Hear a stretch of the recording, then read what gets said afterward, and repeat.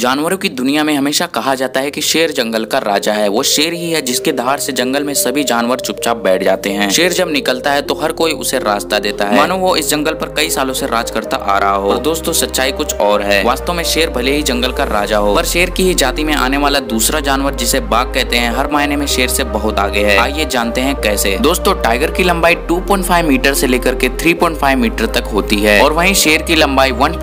metre से लेकर के टू मीटर तक ही ही होती है बात की जाए दोनों के वजन की तो टाइगर का वजन लगभग 310 किलोग्राम होता है और वहीं शेर का वजन 190 किलोग्राम ही होता है और दोनों के नाखूनों की बात की जाए तो टाइगर का नाखून आठ से लेकर के साढ़े दस सेंटीमीटर तक होता है और वहीं शेर का नाखून छह से लेकर के आठ सेंटीमीटर तक ही होता है बात की जाए दोनों की सबसे पावरफुल चीज जो की है बाइट फोर्स उसकी तो टाइगर का बाइट फोर्स एक हजार पचास